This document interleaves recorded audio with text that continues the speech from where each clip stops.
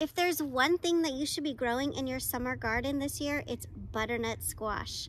I love to grow the bigger version of butternut and this last summer I grew these guys. They're called honey nut butternut. So they're a lot smaller and a lot sweeter. Now butternut squash can take up a lot of real estate in the garden and that's why I grow them vertically. So I will plant them on the back end of my my boxes back here and then I will train them to go up the garden tunnel. It's very dramatic, very pretty, and these little guys, they can hold on for dear life and you don't need to worry about extra supports or anything. So if you are thinking about what to plant this summer, make sure you put some butternut squash on your list.